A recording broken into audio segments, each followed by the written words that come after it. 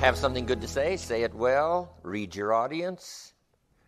Here's the fourth step to good communication intensity.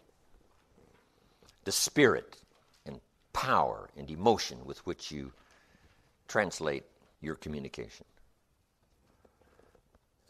Intensity gives power to vocabulary. Words are just words, but here's what's powerful words loaded with emotion. See, that's what's powerful. You say, is the word powerful? Yes, the, the word's powerful, but the emotion is so much more powerful.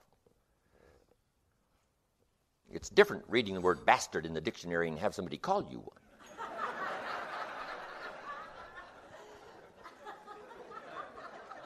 if a word is a word, say no, a word just isn't a word. It all depends, right? It depends. Depends. So, emotion is like if I took a little straight pin, right? Guy buys a shirt, it's got all these pins in it, right? You got to take out all these pins. If I took one of these little straight pins and I threw it at you, and it hit you in the face or the hands, you'd feel it, this little straight pin. But what if I took that little straight pin and wired it to the end of an iron bar about this long? See? And I let you have it with that, I could drive the pin through your heart. So the little pin is the words, and the iron bar is the emotions that give the words power that gives the words weight, that makes it strike the consciousness. The day the Christian church was started, said this unique sermon was preached, and the sermon was so powerful, it said it struck their conscience. It struck their consciousness. And your words can become so powerful, it can strike somebody's consciousness, and they say, Oh, wow, now I know what I did wrong. Now I understand the difficulty. Now I can see. And words can become that powerful that they strike the heart, they strike the mind, they strike the consciousness so that somebody can see. So, since words are that powerful mixed with emotion, here's what's important. Next line learn to measure your emotions. Because if you don't do that, you can do more damage than good. Words not only give life, words kill. With words, you can kill someone's incentive, you can kill someone's dignity. You can either give life or take life by the words you use. So you got to be very careful now with this emotional power. You got to use it very wisely. Well chosen words, yes, but now we need measured emotion and well chosen words. But words loaded with emotion, it's so powerful, but you got to measure it. Too much firepower destroys the opportunity. We say we don't shoot a cannon at a rabbit. That's too much firepower. It's effective, but you've got no more rabbit. Right? One of my colleagues years ago said, You should have been there, Jim Rohn, listen to my talk. He said, I blew them all away. I said, Oh no, where are they now? You, you blew them all away? That's too much. We don't, you don't need to blow everybody away. We're talking now about being effective. Here's the key enough emotion. Now, the men have to work on enough, and probably the, the female side has to work on a bit of restraint. The men, a bit more, enough, and the women, not too much. And we all have to measure that, whether it's in our business, whether it's in sales, or whether it's speaking to a child. Enough, but not too much. Isn't this interesting stuff? I mean, this, you can't believe what a little bit of course on this stuff will do in helping you to sense some things you didn't sense before, see some things you didn't see before, and pick up some signals you never picked up before by just paying attention. Now your effectiveness multiplies by two, by three, by five, by ten. It's, it's fabulous. This is fabulous stuff. Okay. Now, what is the intensity? It's the blend of all your emotions and all your experiences that have affected you. The key is to keep and store those so that they're handy and near the surface. Because here's the next key now in making a presentation, having a conversation. Number one, identification. If you have available to you all of your experiences close at hand, now you can identify with someone. Here's what identification means making yourself real to someone else, hopefully in the very beginning. If a man talks to a man, that's a pretty easy identification. If a man talks to a woman, a lot more difficult. If we're the same, if we're sort of the same, it's a lot easier to identify. Here's what identification means building a bridge between you and someone else by relating some common experiences. You start with that. But now, how does a, an adult 40 relate to a child of 12? That's a long bridge from 40 to 12. How would you do that to get a child's attention? How would you do that to build a bridge so you could have a, a good conversation? Here's one of the keys remember when you were 12. Now, they can't remember 40, but you can remember 12. I remember almost every day of being 12. One challenge of being 12, you're not 13. Right? The teenagers are off going somewhere, so no, you can't come. You're only 12. Only 12. If I heard that once, I heard it a hundred times. You're only 12. I couldn't wait to get out of 12. I seemed to be stuck in 12. if you're not a teenager, not, maybe that's changed now, but I mean, back then, I'm telling you, 12 was an unbelievably tough year. Close, but not close enough. So you got to identify. I remember when I was 12. Really? Sure. Did you ever get chosen last in school? They're choosing up teams, and I'll take you, I'll take you, you're standing there. Leader says, I'll take you, I'll take you, and you're standing there. Finally, you're the only one left. Next leader says, I guess I'll have to take you. oh, yeah. I can tell you about disappointments, right? I remember 12. I remember 12. So you just got to go back and see if you can't pick up the threads of your own experience so that you can now relate to somebody that's 12, a teenager. Man and woman, totally opposite. But if I've been lost and you've ever been lost, if we talked about that, I'll bet that would identify. Have you ever been lost? And, and she says, Yeah, I, I remember being lost. I, says, I remember when I was lost. Now we've got something in common. We're opposites in terms of sex, but now we've got an experience that's in common that helps to build a bridge. If I've got children and you've got children, even though I'm a father and you're a mother, but at least if we have children, we have something in common. Little things you can think of that helps to build a bridge fairly quickly between you and someone so that you have a better chance now to communicate well. We call this simply identification. Next, key to good communication is learn to attack the problem but not the person. This is an art. Too often we attack the person that is so closely identified with the problem. But the key is to attack the problem. We expect the doctor not to attack the patient, but we expect the doctor to attack the disease, to attack the problem, to make the operation successful, save the patient, destroy the disease, destroy the diseased organ. So here's what we expect a doctor to be very professional. So you can't be reckless here now going after the problem when it seems like you're going after the person. You got to be like a surgeon. This is important stuff here because a lot of people really get destroyed here by not being careful like a surgeon. Matters of the heart are delicate. You can't operate on the heart with a hatchet. If you were about to go under for the heart operation and you heard the doctor say, Hand me the hatchet, you'd come awake. Say, No, what do you mean? We're talking about my heart here. No, and some people go after matters of the heart with a hatchet. Right? Too severe. They're not careful enough to handle the problem, to go after the problem. But the key is to save the patient. And this is why you have to use this language even with your children. I love you, but I hate what's happening. I don't hate you. God sometimes has this difficulty. Saying, I love you, but I hate your sinful ways. Now, since me and my sinful ways are so sort of wrapped up together, I have a tendency to think, well, maybe God hates me. And God says, no, let me make it clear one more time. I don't hate you. I love you, but I hate what's happening your sinful ways that are carrying you away, your sinful ways that are leading you to destruction, your sinful ways that will soon have you dead. That's what I hate. Right? The sinful ways that's got their fingers around your throat, shutting off the air supply. That's what I hate. I hate the enemy, not you. I hate the enemy. And if you learn to deal with your kids that way, they'll appreciate what you hate as long as they know what you love and what you hate. And sometimes you just got to say it. You got to make it clear. I don't hate you, but I hate what's going on. I hate what I see. I hate what's happening. I don't feel good about it. I feel good about you, but not about it. See, if you make it clear, that kind of communication is so useful, it is so powerful.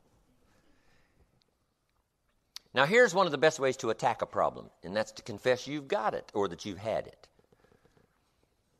Say, Mary, the reason I'm talking to you about this is I'm telling you, I've been through it, and I made some wrong decisions, and let, let me tell you what it carved out of my life that I'll never get back. One of the best illustrations is to use yourself.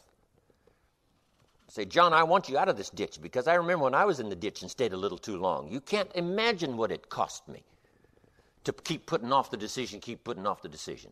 I'm telling you, I've got some regret, a little bit regret till this day. Don't let that happen to you. Use yourself. One of the best illustrations is yourself. If you're getting on somebody's case, say, hey, I remember somebody got on my case and saved the day. If that person hadn't come along, got on my case, told it like it was, give it to me straight, I'm telling you, I'd have been lost, I'd have been gone, wouldn't be here to talk to you. So listen to me from my own experience. See, that kind of communication is so valuable. Now, here's another way to attack a problem use an illustration of a person that isn't there. So let me tell you about John, Joe. John said, Oh, well, oh, well, sure enough. I'm telling you, he regrets to this day his oh, well attitude. And if John was here, he'd tell you himself. But since he isn't here, let me tell you about John. If John was here, he would plead with you with tears in his eyes. See, that third party. First, you confess your own sins the mistakes you made, what you went through to help someone. Then you use an, a third party, another illustration for someone that isn't there, instead of direct. Okay. Then, when there's no hope left, you can use the direct attack. Here's what we call this tools of last resort. They are useful, but you've got to be very careful using tools of last resort. Here's the first one a direct attack. You no illustration, no third party, you. See, you got now you got to be very careful when you go direct. Because now confrontation is always it's it's difficult. It can be so helpful. It can save the day. It can rescue somebody from disaster, but it is you've got to know what you're doing when you go for the direct attack because now you may destroy your chances forever to get back into a conversation with a person if you destroy it this time. You got to do it. You got to do it strong, and you got to do the direct attack, but you got to do it in such a way that the door is still open in this communication effort. A direct attack. Here's another tool of last resort scolding. You got to be very careful of scolding. It may be necessary, but only as a tool of last resort. It's not something you use up front. Use yourself as an illustration. You know, confess yourself and for someone else. Then, if there's no hope left, then you go for the direct attack. And the same way with scolding, you got to be very careful. Somebody walks in late and you say, Where have you been? See, that's loaded. That's loaded with insinuation. And yes, finally it might be time to use it. Finally, there isn't any other way. And you got to resort to it. But you got to be careful of these tools of last resort. Don't use them up front. Only use them as a last resort. Because when you say, Where have you been? See, that insinuates all kinds of things. You don't care. Insinuation, if it's necessary, is important, but if it isn't necessary, it's important to leave it out. Old Joe Kennedy taught John Kennedy, who became president, one important phrase. Here it is, and it applies in so many ways, so jot it down. If it is not necessary to change, it is necessary not to change. If it is not necessary to use strong language, it's necessary not to use strong language. If it's not necessary to scold, then it's necessary not to scold. You can't just use it because you're good at it. Or just because, you know, something flared up and you just let it fly. You can only use it because it's absolutely necessary. And if it is not necessary to scold, it is necessary not to scold. Tools of last resort. Some parents scold their children all day long. Scolding is like getting someone's attention with a cut. And yes, it'll heal with a cut. And yes, it'll heal. And yes, maybe this time it was necessary to scold. But what if you did that all day? Every day, all day. You can imagine these children that have these psychic scars for the rest of their life because they've been attacked all day with words. clipped and cut. And some of them heal and some of them never heal. Why? Too often, too daily, too consistently scoped. So you got to save up this for, for an occasion that really demands it. Some things are too severe. In some countries, if you steal, they cut off your hand. We would call that too severe. A little piece of the finger, maybe, but you know, not the whole, not the whole hand. Come on. But it is effective. Said, you ever steal anything else? Guy says, with one hand? No. So, is this coming through? This communication stuff, I'm telling you, it's so valuable. So, scolding, save it up, save it up as a tool of last resort when it's now really necessary. And then be careful. Next is sarcasm. There's a place for sarcasm. Who do you think you are? But see, you wouldn't use that up front. You wouldn't use it every day. You wouldn't use it very often. Now, there is a time to use it, but sarcasm, you got to be careful. A lot of things concerning human relations, you got to be careful. Here's one of the most important husband and wife have to be careful teasing. You got to be very careful. Because with teasing, it's too easy to cross the line to where teasing becomes cruelty. Yes, it's kind of fun, but it, it is so easy to tip. It's so easy for teasing to tip. Even with children, you got to be careful teasing children. Children have to be careful teasing each other. Why? Because it's so easy to tip it just a little too far, and it's the beginning of cruelty. Not, we say, well, we call it teasing. Say, no, some of it's the beginning of cruelty. Not ultimate cruelty, not devastating cruelty, but it could lead to that. So you got to be very careful. The human heart is very fragile. No matter how strong and powerful and loud the exterior may be, I'm telling you, that ain't true of what's going on inside. Everybody's consciousness and dignity and heart is a delicate matter. And you can do so many useful things and you can have such an unbelievable success if you just follow a few of these little guidelines, especially on tools of last resort. Save it up. It's like profanity. The key is to save it up. You know, if a guy swears and cusses all day, say, oh, don't mind John, he's just a cusser, right? I mean, you know, we have to put up with his mouth all the time. But see, that's ineffective. But somebody that doesn't use profanity, I'm telling you, the day they do, the world stops. Bill doesn't usually talk like that. I mean, you know, something must be going on.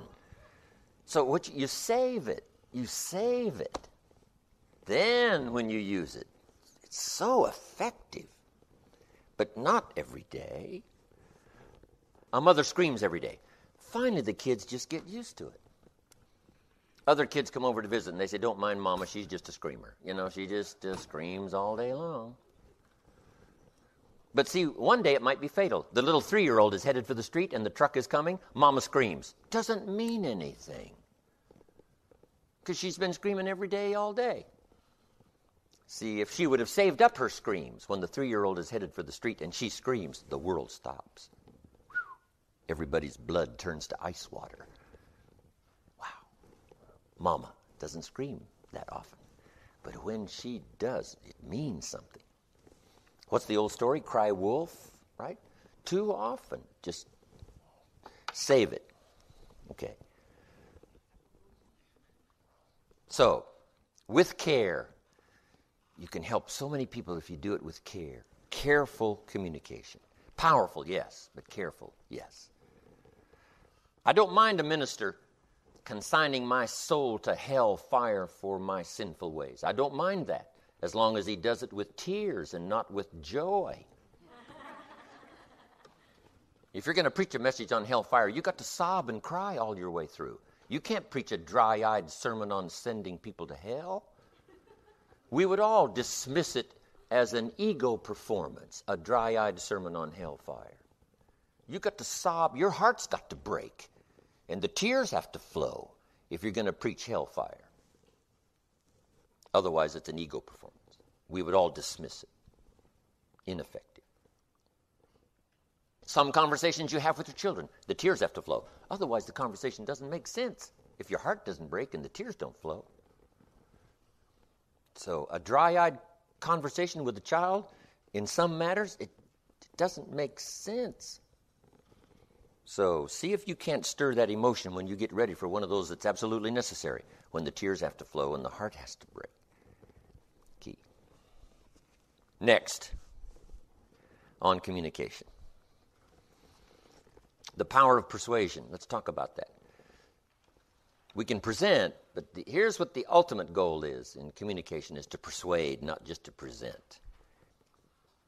Two great orators of antiquity, one was Demosthenes, the other one was Cicero. When Cicero spoke, everybody said, What a great speech. When Demosthenes spoke, everybody said, Let us march. One was a presenter, and the other was a persuader. So, what's the difference in presentation and persuasion? Let me give you just a few tips. Here's number one become a good storyteller. One of the great ways to persuade is to illustrate with a story, a story, a story. Young Schuller gave his sermon, used a fantastic story. He was, I guess, preaching for his father, Dr. Schuller, who was off, I think, on vacation. So young Schuller's given a sermon, one of the classic sermons. Let me give you the three points. Three points. This is one of the classic sermons I ever heard of all time. Point number one if you think it's impossible, it isn't. Good point. Point number two if you think you know everything, you don't. Good. Number three, if you think you're alone, you're not. And his illustration for if you think it's impossible, it isn't he said Rich DeVos needed a heart transplant, the founder of Amway. Otherwise, he's not going to make it. To shorten the story, Rich DeVos gets his heart transplant. He's now got a new heart. But here's the stunning part of the story. After his heart transplant, and not long ago, he has lunch with the lady who gave him her heart. Rest that on your mind. You say what? Impossible. You can't have lunch with the person who gives you their heart.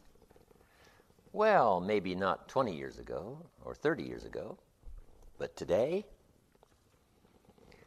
this lady needed a liver transplant. I think it was liver transplant. And sometimes when they transplant the liver, it's best for the heart and the liver to go together. So someone dies, donates their organs, and this lady gets the transplant of the liver and the heart. Now her heart is left over. And so this heart, left over, goes to Rich DeVos. That's how he was able to have lunch with the woman who gives him her heart. Isn't that a great story? So, fabulous. So here's what I'm asking you to be. Just underline it. Be a good storyteller. Pick up all the stories. Herbalife Corporation, I do a lot of things for them around the world. They got the story of this lady uh, a Spanish lady down in Miami who started the business with $1 17 years ago. Now she's a millionaire, does business in many countries, lives in a beautiful home, drives a big white Jaguar. And when she started with a dollar, she was a single mother with two children, ill, in the hospital, no job. Now, when she tells her story, guess how she finishes it? If I can do it, but surely you could do it. One dollar? That's all I had. So she couldn't buy and sell, she had to sell and buy if you just learn the stories, whether it's a story for a child, you got to have kid stories. You're talking to teenagers, you got to have some teenage stories. Don't be lazy now in gathering these stories because they're so valuable in illustrating a point. I use the story, the Girl Scout story. I mean, a lot of you, right, have heard my Girl Scout story. Unbelievable. I'm really, this is before I met Mr. Shoaff, turned my life around. I hear a knock on my door. I go to the door, there's this little Girl Scout selling cookies. And she said, For the Girl Scouts, the cookies, only $2, greatest organization in the world. She gave me this unbelievable presentation and said, It's only $2. No problem, I wanted to buy. Big problem, I didn't have $2. And I didn't want to tell her that. So I did what I thought was next best. I lied. And I said, Look, I've already bought lots of Girl Scout cookies. We've still got plenty stacked in the house that we haven't used yet. Right? Might as well make it a good lie. So, she said, Oh, that's wonderful. Thank you very much. And she leaves. When she leaves, I say to myself, I don't want to live like this anymore.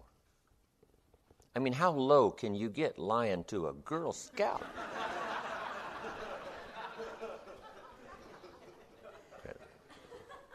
and shortly after that, I met my mentor who turned my life around. And maybe it took me, right, finally reaching that low point in my life, lying to the Girl Scout. And I said, never again.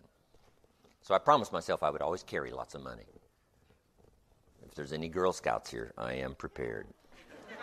I got the cash. After that, I'm walking out of the bank one day in uh, uh, Saratoga, where I lived in Saratoga. I walk out of the bank one day, two little girls selling candy right outside the bank, right? Good place. I come walking out of the bank. Little girl says, Mister, would you like to buy some candy for the worthy cause? I said, uh, What kind is it? She said, It's almond roca. I said, My gosh, that's my favorite. She said, Oh, wonderful. And I looked at her and I said, How many boxes of that candy have you got? And she said, I've got uh, five. I think it was. Uh, and I, the other little girl, she was selling candy too. I said, How many boxes have you got? She said, Well, I got four. I said, That's nine. I'll take them all. They said, Really? I said, Sure, I've got some friends, right? And I'll pass them around. I give them the money. I got the candy. And the first little girl looks up at me and she says, Mister, you are really something. How about that? From that experience before when I didn't have the $2, now how things have changed in my life. So, stories. Have you underlined that now? Stories, personal stories. You know, search around in your own life and say, here's a story I haven't told for a long time, or here's a story that, you know, I never could tell because it, when it happened, it was too fresh and too severe, but now I think I can tell that story. That's true. Some things, when they happen to you, just now, some of them are beginning to speak about the Holocaust. Why? Because that first 10 years, 20 years, 30 years, it was so unspeakable and it was so horrible, they couldn't talk about it, couldn't talk about it. Now they're afraid everybody's going to forget and they're going to forget, so now they're starting to tell, tell, tell the story. So dig around in your life and see if there aren't some personal stories. And then some testimonials that you've heard.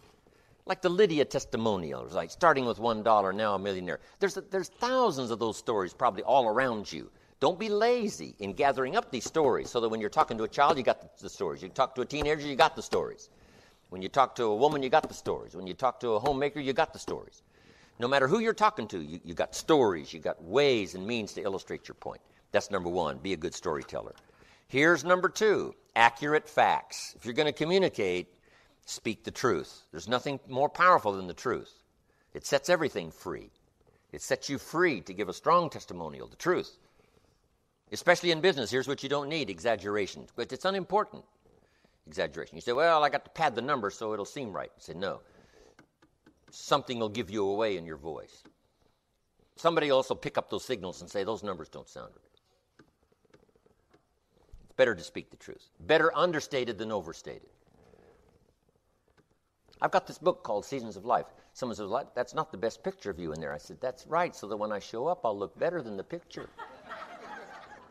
Some people use these glamour shots, right? And then when they show up, they look a little rough around the edges, right?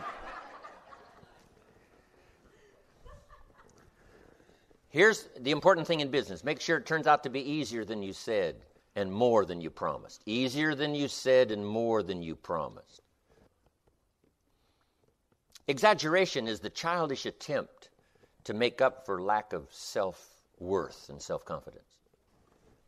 There's nothing better than the truth. If the right numbers, if the right numbers don't do it, you just don't do it. But the right numbers will strike a key with enough people to where the response will be plenty to support you. Next, and in my profession and others, it's, it's more important, but a little oratory, saying something extremely well. And now I use quotes to help say something extremely well. If you can't think of a way to say it, you know, borrow a, a quote from someone. Churchill said, The truth is incontrovertible. Malice may attack it and ignorance may deride it, but in the end, there it is. See, that's well said. Just borrow that, because you could stay up all night and not think of that. right? No matter how hard you tried. So you just borrow a little Churchill. Why not borrow it? It is so well said. I borrow the lyrics from a song, right? Barbra Streisand sings, It used to be so natural to talk about forever, but used to be's don't count anymore. They just lay on the floor till we sweep them away. You don't sing me love songs. You don't say you need me. You don't bring me flowers anymore. See, if you can't say it better than the lyrics, then borrow the lyrics. Use the lyrics. Elton John sings, She lived her life like a candle in the wind never knowing who to cling to when the rains set in. See, it's hard to say it much better than that, how brief and fragile life really is. George Harrison sings, If not for you, the winter would hold no spring, couldn't hear a robin sing. I just wouldn't have a clue if not for you. That's big time stuff, right? I mean, sure, you could coin some stuff, and if you coin some stuff, use it. But boy, it's, it's so easy to borrow. So easy to borrow, and it's just as effective to borrow. You don't have to claim it for your own. Just borrow it and say, I got this from someone. Zig is so much fun to borrow from. Zig says money isn't everything, but it ranks right up there with oxygen. See how, Zig, you're right. Zig is so cool. I mean, He's good. Zig says, My dentist told me, Zig, only floss the teeth you want to keep. I mean, you know, forget the rest. Here's one Zig is famous for around the world. If you help enough people get what they want, you can have everything you want if you're interested. Some people aren't interested. If you're interested, if you help enough people get what they want, you can have everything you want. Serve the public. You're entitled to the wealth. Zig is so good. So, quotes, borrow, make your conversation alive. If you can remember stories and remember the quotes, little one liners, whatever they are, it doesn't matter. One I'm famous for around the world is what? Work harder on yourself than you do on your job. Work hard on your job, make a living. Work hard on yourself, make a fortune. I used to hope things would change. Here's what my mentor taught me. For things to change, Mr. Rohn, you have to change. For things to get better, you have to get better. So well said in a couple of sentences, a whole body of philosophy in a couple of sentences, enough to feast on forever. Now, here's another part of persuasion, and that's straight talk. Just make the note, everybody's interested in this. Tell it like it is. Tell it like it really is. This is why the truth sets free, because it tells it like it is. Now you can correct the problem. Now you can set up new disciplines. Without the truth, you're helpless. We've got to tell the truth. We've got to give it to them straight. We've got to tell the kids straight. Here's the deal. Now, here's another one, and that's challenge. Part of persuasion is a challenge. All of us respond to challenge. And a big challenge is you go do it, you go do it. Why don't you do it? You can do it. Here's a better challenge. Let's do it. Let's climb the mountain. Let's build a business. Let's start and get going. Let's become healthy. Not you go exercise. Let's exercise. Let's go to the gym. Let's jog around the block. Let's change our diet and see how healthy we can become. Let's, let's, let's. There's nothing more powerful than let's. Here's why. An ancient script says this if two or three agree on a common purpose, nothing is impossible. Try that on for size. All of my enterprises for the last 40 years have been partnerships two, three, four people. Two, three, four. Why? Because it's so powerful. You say, well, isn't partnership tricky? Say, yes, it's tricky, but it's powerful. It's like marriage. It's tricky, but it's powerful. There's nothing like it. Having children, isn't that a little tricky? Say, yes, but you got to go for it. You got to try the experience. Having a child is like a throw of the genetic dice. And you have no idea what's coming up. How many previous generations in the throw? Who knows how many generations? But you, You got you got to play the game. To see what? See if you can manage it. See if you can handle it. See if you can turn what is into what you wish to be. See if you can't influence and speak and use yourself as an influence over whatever happens and see if you can make something unique out of it. Sure, it's a challenge. Sure, it's a win or lose. But what else is new? Sure, the, the possibilities. But the odds are in your favor. Let's go do it. Old Testament says one person becomes so powerful they can put a thousand to flight. If two get together, they can put 10,000 to flight. Here's what that suggests two getting together multiplies the power by 10, not by two. Why not try that? Why not take a gamble and see if it might not work for you? Get somebody and say, hey, let's go, let's go. Two of us and three of us, and nobody's a match for three of us. That's powerful stuff. Yes, it's tricky. Yes, it's part of the dynamics of, you know, the mysteries of life. And who knows, who knows, but who knows when it'll work. That's how we build cities, and that's how we conquer disease, and, and that's how we build universities, and that's how we build enterprise, and that's how we affect the world. Two or three. How many pilgrims were there? It wasn't a million. How many did the little boat hold? Not very many. But they started something that has startled the world the pilgrims. Not a million, just a handful. Set out, crossed the ocean. Let's see what we can do, build a new country. Those dynamics are so powerful, they're irresistible. When somebody gathers you up and says, Come on, let's go, because you can't think of everything to be inspired. When somebody comes, let's go, let's try it, let's do it, let's do it, here we go. See, that is, that is so powerful that when the invitation is given, if it's the right invitation, you got to go. Or you put it together. Pick this one, pick this one, and say, let's go. Just two or three. How many disciples were there? Not 12,000. How many? 12. Just, just 12. Just 12 just two or three, just five or six, just a few can turn the world upside down, do extraordinary things. So remember this challenge the we, let's go do it. The great prayer is a collective prayer. It doesn't say, My Father who's in heaven. No, it doesn't say that. It says what? Our Father. Every time you pray, you might pray as an individual, but you pray collectively for the collective. Our Father, our family's father, our community's father, our country's father. Pray individually, yes, but pray the hour because it's the it's all of us that's that's powerful. Each of us need all of us. All of us need each of us. Who's a match for all of us? Nobody. Who's a match for one of us? Everybody. But all of us? Give me my daily bread. No. No. Yes, you pray it individually, but it's inclusive. Give us. Lead us around temptation. Deliver us. Individually prayed, but collectively thought about. Deliver us, the family. Deliver us, the community. Deliver us, the organization. Here's the last part on communication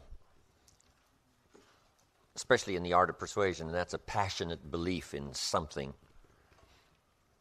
And your passionate belief in something doesn't have to be something you talk about all the time. For some, it's religion, it's a unique experience, it's spiritual. For some, it, it is an objective, it is a, a vocation. Uh, but the greatest passion to start with is to be extremely successful and affect as many people as you can.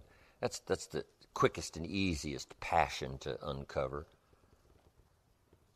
And you don't have to wait till you find your passion. Just be passionate about being healthy, be passionate about being influential, be passionate about being extremely successful. Sinatra said the greatest revenge is massive success. be passionate about winning. You know, the game of financial independence, power, parenting, the best Success is that early passion to succeed in making progress, to succeed in getting healthy, to succeed in learning skills, to succeed in in being better this year than you were last year, to succeed in expanding your horizons, to succeed. That's the early passion. Now, if you find something in particular, like being a sculptor, you know, learning sculpturing or painting or whatever, and then that becomes, you know, a, a passionate affair with you, uh, that's fine. But the early passion can be just very simple ABC stuff, overcoming fears that you've had, you know, being a more confident person right? Self esteem at the highest possible level. You know, that kind of passion. To be an articulate person, to be able to persuade, to be able to share my story, to be able to affect other people in a positive way, my community. You know, that's the passion to take whatever you've got and turn it into a successful, prospering, flourishing, exciting, financial, social, personal, spiritual life. Right? That's the passion to be all that you can possibly be. That was Mr. Shoaff's philosophy. I said, How much should I earn? He said, As much as you can. How far should I go? As far as you can. How many books should I read? As many as you can. How much should I share? As much as you can. How many things should I try to go see? As many things as you possibly can. Stretch as far as you can, go as far as you can. Earn as much as you can, do as much as you can. Become as successful as you possibly can. Be the best parent you possibly can be that was enough passion for me. In fact, it had so many unique categories that it's kept me busy all these years, just trying to stretch to that degree. A passionate belief, a passionate persuasion about life. For some people, it is a spiritual experience, and they don't necessarily talk about it all the time, but they use it as fuel for the fire. It makes them unusual, it gives them charisma. It gives them an unusual presence. Not something they speak about all the time, but something that happens to them all the time. If you've ever been rescued, somebody saved your life, I'm sure that would be an experience that would linger and fuel the fire for how long? Probably forever. Someone saved your life.